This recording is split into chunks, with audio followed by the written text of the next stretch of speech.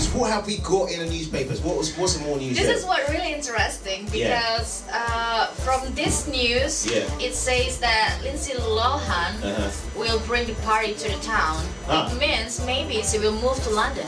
You saw Lindsay Lohan is planning to move to London. That's Yeah. the story. Because the reason behind that is that she is very uh, like fed up with Los Angeles. Yeah. And she feels like it lacks of privacy there. Now- So she wants to move here. Maybe. Know what I'll say to that is, if you're fed up with Los Angeles, I don't think London is the place to move to because it is not the most uh, paparazzi friendly place. Paparazzis go in.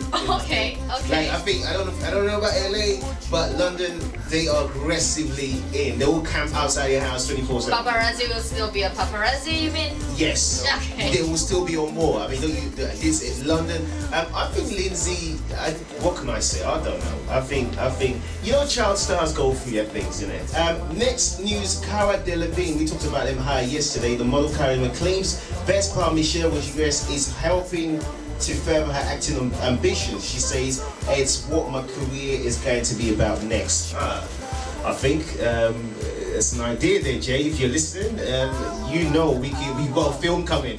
So I think that could be a call to her agent after this film. Okay, make an approaching. Yeah, do you know what I mean? Because uh, she wants to get into acting, but it's, I, I think whatever you want to do in life, you should pursue and do. Yeah. You know, some people always kind of like, if you're a model, don't be an actor. If you're an actor, don't be a model. If you're, a- you know, if you're presented on that, you know, what do you think of all that? Do you No. if you want to be a carpenter and an actor and then a hairdresser, you can do that. Actually, don't. Yeah, yeah, well, yeah.